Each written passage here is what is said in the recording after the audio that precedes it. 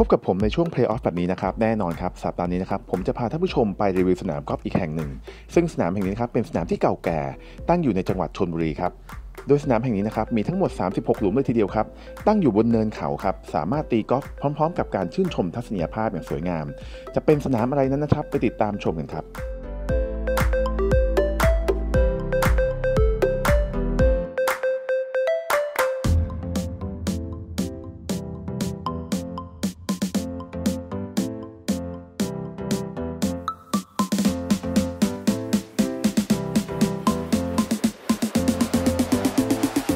ท่านผู้ชมครับในวันนี้นะครับผมได้มีโอกาสมารีวิวสนามกอล์ฟนะครับสนามกอล์ฟราชนาวีพลูตาหลวงครับวันนี้นะครับมีแขกผู้มีเกียรติของเรานะครับที่จะมาให้ข้อมูลเกี่ยวกับสนามนี้นะครับในการที่จะไปรีวิวในครั้งนี้นะครับท่านนาวาเอกสุรยุทธ์นิเวศทองเลิศครับซึ่งท่านเป็นรองผู้จัดการสนามกอล์ฟราชนาวีพลูตาหลวงครับสวัสดีครับท่านครับสวัสดีครับโอ้โหนี่เป็นเกียรติมากๆเลยครับนี่ท่านผู้ชมนี่จะบอกว่าท่านรองผู้จัดการปกติไม่ค่อยว่างนะครับนี่ท่านสละเวลานะครับมาให้ข้อมูลของเรานะครับในวันนี้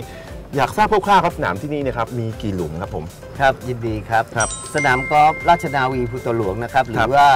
เป็นชื่อเต็มๆ คือกิจการศูนย์พัฒนากีฬาราชนาวีพุตหลวงเราเนี่ยอืมมีพื้นที่ประมาณ 1,500 กว่าไร่ครับนะครับ ก็มี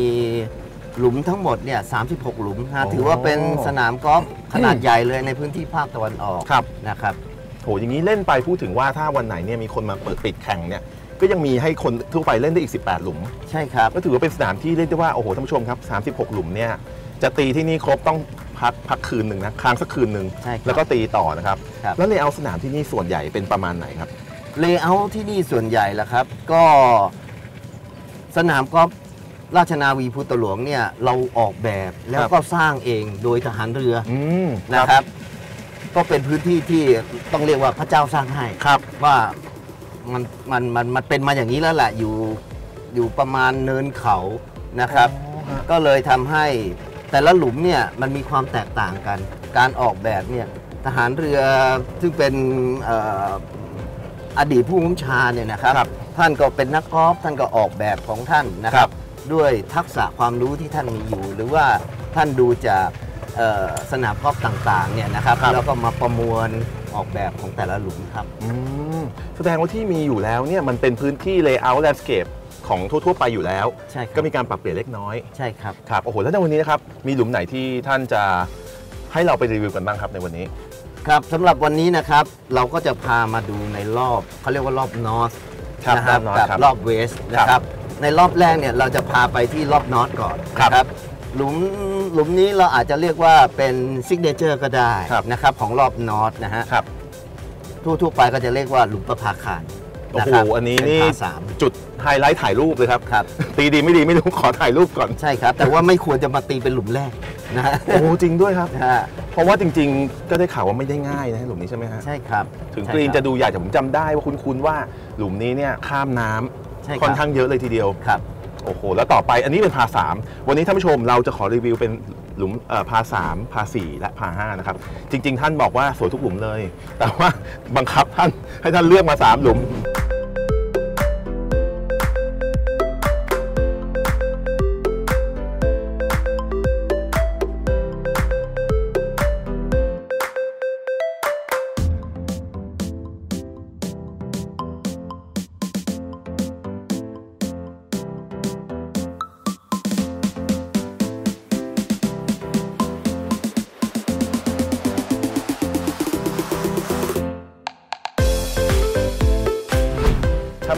ตอนนี้เรามายืนอยู่ที่หลุมแรกที่เราจะมารีวิวกันในวันนี้ครับ ท่านรองหลุมนี้เป็นหลุมอะไรครับผม ครับ หลุมนี้ชื่อหลุมสามนอตนะครับสามนอตนะฮะแล้วก็ทั่วไปเราจะเรียกว่าหลุมประภาคารอืมมันต้องมีที่มาใช่ไหมครัจบริง ๆ แล้วเนี่ยการสร้างเนี่ยมีมาประภาคารกับกรีนเนี่ยมันมีมาตั้งนานแล้วหรือเปล่าครับเอ่อไม่ใช่ครับหครัลุบมเนี่ยจริง ๆ แล้วเนี่ยก็เป็นหลุมใหม่ที่เราเราทำขึ้น แต่ว่าสร้างขึ้นมาเนี่ยก็ได้เกือบสักสึกครับ เกือบ 20 ปีแล้วล่ะครับนะครับอ๋อที่เรียกประภาคารเพราะว่าครับเราเรามีประภาคารอยู่ครับ คือเป็นที่ทราบกันดีนะครับว่าเนี่ยเป็นสนามกอล์ฟของฐานเรือครับนะครับ อะไรที่เป็นสัญลักษณ์ของทางเรือบ้าง ครับ คนที่อยู่ทะเลครับก็คือประภาคารครับ โอ้จริงด้วยฮะ ฮะนี่ก็เลยเป็นสาเหตุนะครับที่ท่านลองเลือกหลุมนี้มาเป็นหลุมเปิดให้เราก่อนเลยครับ นะครับ แล้วการเล่นหลุมนี้เป็นไงครับท่าน เห็นว่าเป็นไอแลนด์กรีนด้วย เป็นเกาะเลยใช่ไหมฮะ ใช่ครับ หลุมนี้เนี่ยนะฮะหน้ากรีนเนี่ยถึงหลังกรีนเนี่ยก็ลึกประมาณสัก 30 หลา โอ้ท่านละเอียดอะอะสุดยอลึกปดระมาณ30ข้อมูลหาแน่น นะครับ ความยากของมันเนี่ย มันขึ้นอยู่กับจังหวะโอกาสอย่างเช่น ตามลมทวนลมครับเรื่องลมนะฮะเรื่องหลมว่าสำคัญครับผมลมมาจากซ้ายมาจากขวาเนี่ยอันเนี้ยเป็นเป็นเรื่องที่สำคัญต้องนำมาเรื่คำลนึงถึงการบวกระยะ ใช่ จะบอกว่าวันนี้ท่านผู้ชมเนี่ยลมอะผ่านมาทางหน้าเราเต็มๆเลยครับและที่สำคัญคือธงเนี่ยที่ดูเนี่ยเป็นธงสีแดงคือธงหน้าใช่ไหมครับใช่ครับเพราะฉะนั้นตกอะไม่มีทางใกล้ธงแน่นอนใช่ครับเพราะถ้าสั้นไปมีโอกาสตกน้ำเยอะกว่าฮะครับโอเคงั้นเดี๋ยวนะครับท่านผู้ชมไปดูนะครับท่านลองตีลูกนี้จะออนหรือเปล่าครับไปเชิญเลยครับท่าน หลังจากที่ผมได้เล่นหลุมพาสามหลุมนี้แล้วนะครับ ต้องบอกเลยว่าหลุมนี้จริง ๆ แล้วเรียกได้ว่าค่อนข้างบีบมากเลยทีเดียวครับหลุมนี้นะครับถ้าให้แนะนำนะครับตีให้ on ก็เพียงพอแล้วนะครับอาจจะได้ par ไปก็ happy แล้ว แต่ที่สำคัญนะครับทิศทางลมครับหลุมนี้ต้องเช็คทิศทางลมให้ดีนะครับ เพราะลมเนี่ยนะครับจะมีการเปลี่ยนทิศทางอยู่ตลอดเวลาเลย ส่วนท่านใดนะครับที่ตีพลาดตกน้ำไม่เป็นไรครับหลุมนี้นะครับมีไฮไลท์อีกอย่างหนึ่งคือประภาคารนั่นเองครับเราไปเน้นถ่ายรูปกันเลยดีกว่าเพราะจุดนี้นะครับเป็นจุดไฮไลท์ของสนามเลยทีเดียวครับ เรื่องของลมครับนะครับ แล้วก็อุปสรรคน้ำอยู่ด้านหน้า แล้วก็ด้านหลังเพราะว่ามันเป็นไอแลนด์ทีครับนะฮะเอ่อยุทธวิธีหรือว่าแนวทางแนวคิดในการเล่นหลุมนี้ก็คือ อย่ามองธงอย่ามองธงอย่าไปมองว่าจะยิงเข้าหาธงครับตีเข้ากลางกรีนอย่างเดียว เลงกลางกรีนครับท่านผู้ชม นี่คือเมนเทลเกมอย่างดีเลยนะในการใช่ครัจะบเล่นเกมกอล์ฟเนี่ยใช่ครับแล้วหลุมนี้เรื่องธงเนี่ยก็มีผลไหมครับท่าน มีผลมากเลยนะครับครับ เพราะว่าตำแหน่งธงเนี่ยคือเวลาเราปักธงเนี่ยสำหรับนักกอล์ฟเอ่อพวก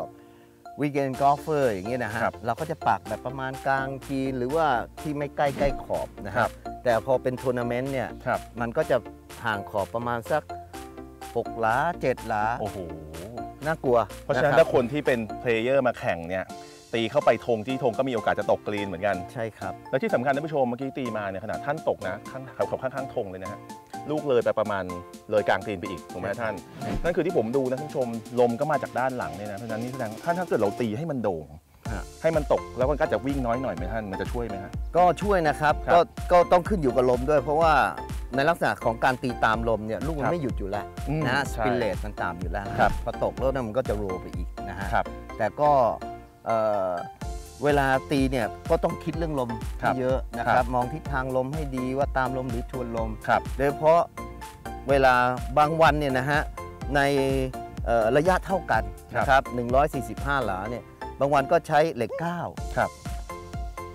หรือว่าพิชชิ่งครับก็ถึงแล้วนะครับเพราะลมช่วยเยอะใช่เลยครับ แต่ว่าบางฤดูกาลอย่างเงี้ยครับที่ทวนลมเนี่ยเหล็ก5ไม่ถึง โอ้โหโหดมากท่านผู้ชมนะหลุมเนี้ยเป็นหลุมที่จะบอกเลยว่า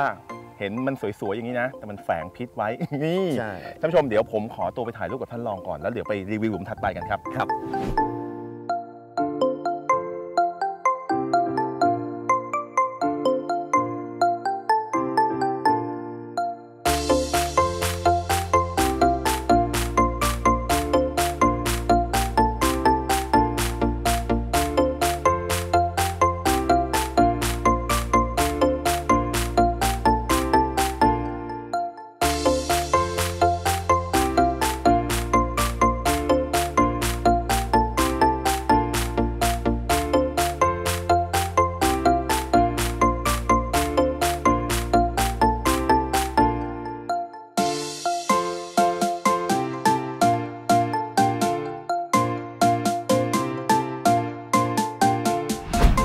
ครับ ตอนนี้เราเล่นพาสามเมื่อกี้เรียบร้อยแล้วนะครับครับ ก็ท่านก็พาไปตามระเบียบ ผมก็โบกี้ไปตามระเบียบนะครับเหมือนกันนะครับ แต่นอกจากนั้นครับหลุมต่อไปนะครับก็คือหลุมที่ถัดจากพาสามเมื่อกี้เลยใช่ครับเป็นหลุมที่ท่านเลือกมาครับอันนี้เป็นพาห้าใช่ไหมครับท่านใช่ครับทำไมเราถึงเลือกหลุมนี้ครับผมครับหลุมนี้เป็นหลุมพาห้านะครับก็ครับเป็นหลุมดั้งเดิมเลย ระยะ 570 หลานะครับ จุดเด่นของหลุมนี้ก็คือเป็นหลุมที่ช็อตแรกเนี่ยแฟร์เวย์กว้างมาก คือจอมพลังนี่อัดได้เต็มที่ ซัดเต็มที่เลยเพราะว่าครับหลุมนี้เนี่ยก็ถือว่าเป็นหลุมที่พยายามจะกรีดอืมแต่ว่าในช็อตชช็อตต่อไปนะคือช็อต2เนี่ยครับก็ต้องใช้สติหน่อย เพราะว่ามันเป็นช่องแคบอยู่ระหว่างช่องเขาครับนะครับ ก็ก็ต้องระมัดระวังครับนะครับ แล้วก็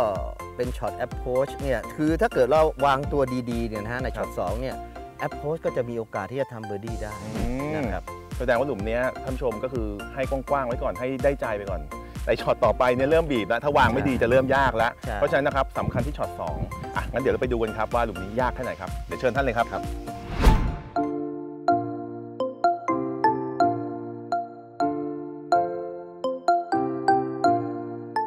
ไปนะครับคือหลุม4พา5นะครับสำหรับหลุมนี้ต้องบอกเลยว่าเป็นหลุมที่มีโอกาสให้สู้นะครับค่อนข้างมากครับแต่ช็อตขึ้นกรีนนะครับจะบีบนิดหน่อยครับแต่สิ่งที่สำคัญนะครับคือเรื่องบนกรีนนั่นเองครับลูกระยะใกล้ๆนะครับผมยัง3พัดมาแล้วนะครับ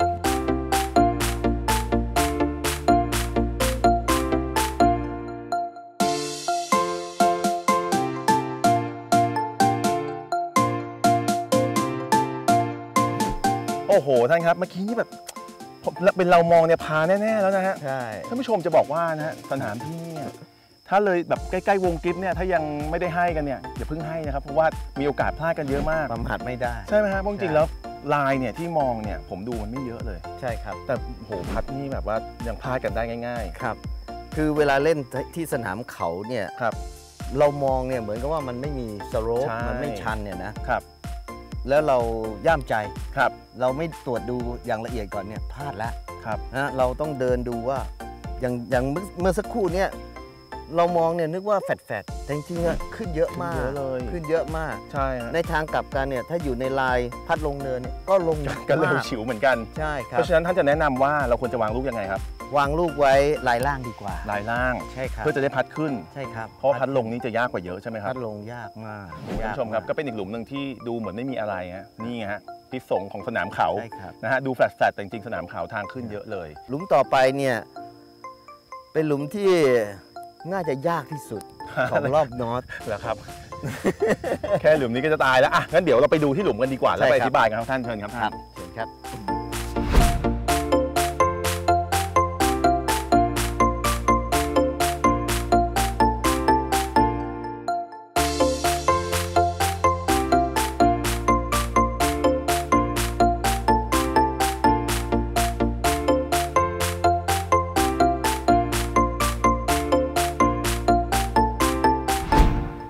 มครับ แล้วตอนนี้เราก็มาถึงหลุมสุดท้ายที่เราจะรีวิวกันในคอร์สแรกแล้วนะครับ ใช่ครับ หลุมนี้เป็นหลุมอะไรครับท่าน หลุมนี้เป็นหลุม 8นอตครับ ระยะประมาณ 420 หลา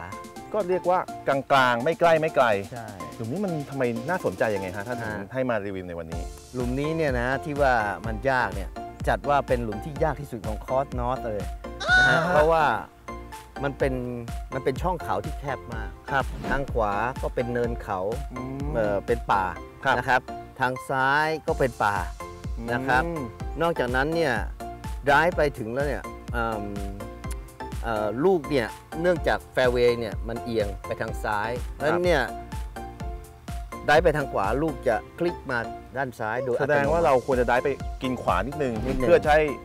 slope เนี่ยดันมาตรงกลางใช่ครับลูกมันจะ roll มาที่กลางแฟร์เวย์นะท่านผู้ชมเทคนิคการเล่นหลุมนี้นะฮะอย่าลืมครับต้องตีไปขวาแต่ห้ามแหกเข้าป่าใช่ครับเข้าป่านี่ก็จบเหมือนกันครับแต่เห็นมีคนเล่าว่ากรีนหลุมนี้ก็ไม่ธรรมดากรีนหลุมนี้ยากมาก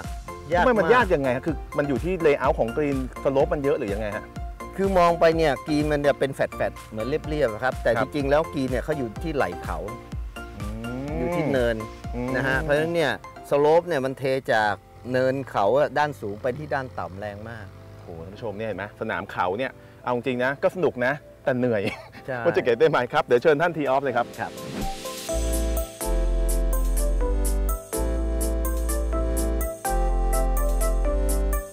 แล้วเราก็มาถึงหลุมสุดท้ายของการรีวิวในวันนี้นะครับ นั่นก็คือหลุม 8 พา4นั่นเองครับสำหรับหลุมนี้นะครับแนะนำว่าต้องเลือกไดรฟ์มาวางให้ถูกจุดนะครับแล้วจะมีโอกาสตีออนบนกรีนได้ไม่ยากนะครับแต่จะบอกว่าสิ่งที่สำคัญนะครับที่ยากที่สุดในหลุมนี้นั่นก็คือกรีนนั่นเองครับท่านใดที่ทำได้ 2 พัดในหลุมนี้นะครับถือว่าประสบความสำเร็จแล้วครับ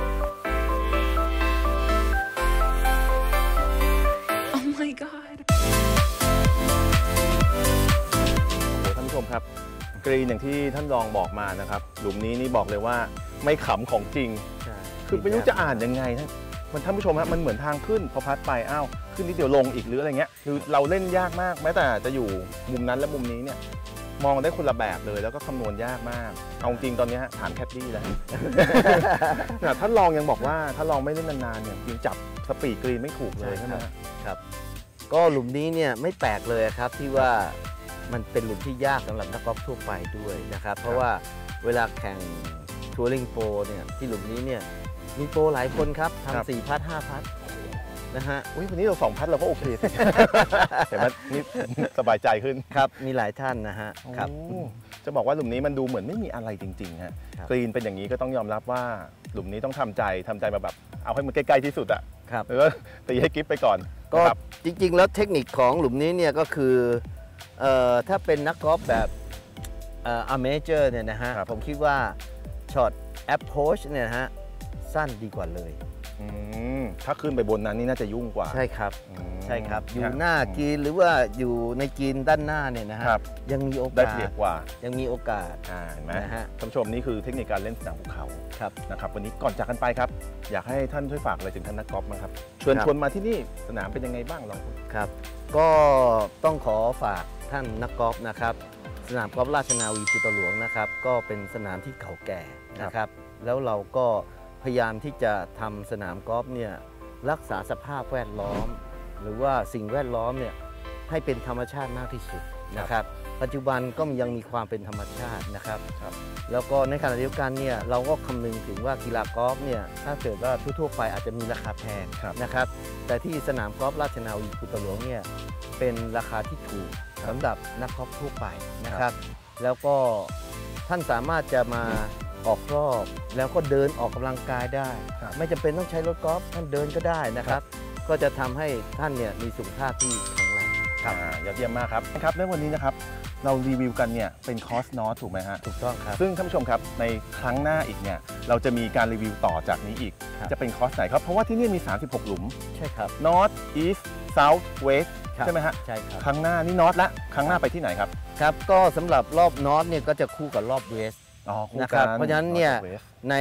เอ่อสัปดาห์ต่อไปก็คงจะเป็นการรีวิวรอบ West ครับ อยากถามคร่าวๆนิดเดียวครับ แตกต่างกันไหมฮะ ถ้าระหว่าง North กับ West เนี่ย ครับสำหรับรอบ West เนี่ยนะครับ ก็ถือว่าเป็นสนามคอร์ส ที่4 ของสนามกอล์ฟราชนาวีพลูตาหลวง คือเป็นอสคอร์นาสมสุดท้ายที่ทำใช่ครับ เสร็จล่าสุดนี้ใช่ครับอ่ล่าสุดก็คือปี 35 ปี 2535 ครับ โอ้หลายนะฮะปีเหมือนกันปีสามสิบปีครับ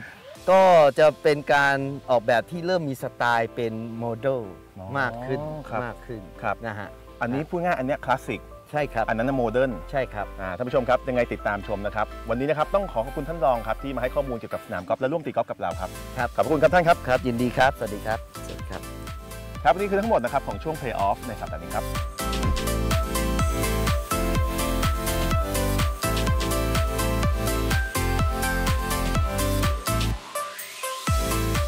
สำหรับท่านนักกอล์ฟท่านใดที่ยังไม่เคยมาสัมผัสกับสนามแห่งนี้ครับผมอยากแนะนำให้มาลองเล่นสักครั้งหนึ่งนะครับสนามแห่งนี้ทั้งสนุกและท้าทาย และสนามแห่งนี้ครับมาเมื่อไหร่ก็มีโอกาสได้ออกรอบไม่ต้องกลัวติดหรือเต็มเลยนะครับเพราะสนามแห่งนี้มีถึง 36 หลุมเลยทีเดียวครับเพราะฉะนั้นผมบอกเลยว่าอย่างน้อยท่านนักกอล์ฟต้องมา 2 ครั้งนะครับจะได้สัมผัสทั้ง 4 คอร์สของสนามแห่งนี้นะครับและนี่ก็คือทั้งหมดของช่วง Play Off ในสัปดาห์นี้ครับ